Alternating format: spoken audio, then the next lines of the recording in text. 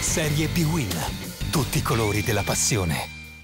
La ventiduesima giornata del campionato di Serie B-Win propone al Francosola di Masnago un interessantissimo Varese-Torino. Granata reduci da 10 risultati utili consecutivi propongono dal primo minuto Stevanovic largo a destra ed Ambrosio basso al posto di rivalta, mentre nel consueto 4-4-2 Sannino propone in attacco la coppia Ebagua-Neto Pereira. La partenza migliore è sicuramente del Torino, dopo 8 minuti prova a coordinarsi per il cross Garofalo, non colpisce bene ma mette in difficoltà Zappino che blocca con non poche difficoltà proprio sulla linea di porta come vediamo anche da questo replay. Davvero ottimo l'inizio di gara da parte della squadra ospite, qui l'anticipo di Pesoli su Bianchi e poi si coordina per il tiro al volo Sgrigna, grande intervento di Zappino. Si vede in avanti, siamo però solo al quarantesimo del primo tempo, anche il Varese botta dalla lunga distanza di Pugliese che viene anche smorzata e dunque Bassi non ha problemi a bloccare il pallone a terra. Due minuti di recupero concessi dall'arbitro Dino Tommasi di Bassano del Grappa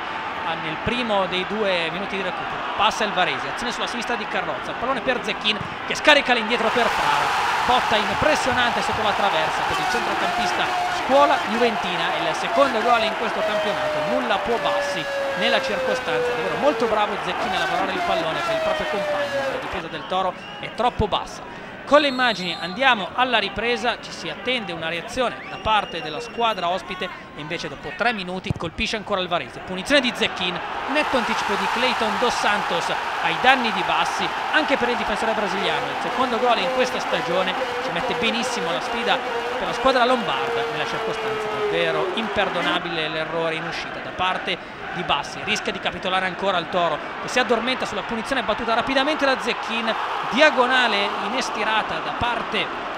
di Carrozza, palla sul palo, è un Lerda quantomeno perplesso per l'atteggiamento mostrato in campo dai suoi, suoi che iniziano a perdere anche la testa, qui cartellino giallo sacrosanto per l'intrataccia di De Vezze e qui D'Ambrosio invece si becca una munizione, avrebbe meritato decisamente di più e questa decisione arbitrale fa infuriare Sannino che quindi viene cacciato sotto la doccia verrebbe da dire dal direttore di gara. Torino che si riporta in avanti con questa occasione al 67esimo capita sulla testa almeno così sembra in un primo momento di D'Ambrosio che invece sulla sponda di Pellicori prova a deviare col braccio, se ne accorge Tommasi e fischia una punizione contro il Toro. Arriva il momento del debutto al 72esimo con la maglia granata di Budel appena prelevato in prestito dal Brescia, proprio lui a scaricare questo pallone per eh, Garofalo che prova al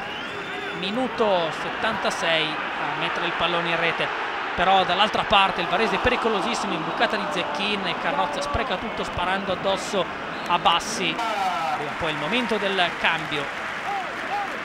Entra un nuovo acquisto del Varese con Cas che prende il posto di Neto Pereira proprio lui soffia il pallone a Budel avvia l'azione del contropiede e poi va a concluderla sull'assist di Carrozza 3 a 0 punizione severissima per un Toro mai in partita protagonista di una ripresa davvero sconcertante. Andiamo a rivedere l'anticipo ai danni di Devezze Devezze che poi si macchia di questo bruttissimo fallo su Zecchin sarebbe rosso diretto invece l'arbitro estrae un secondo giallo sta di fatto che termina qui la partita del numero 7 del Torino. Termina 3-0 la partita in favore del Varese per il Torino una dura ridimensionata verso la corsa promozione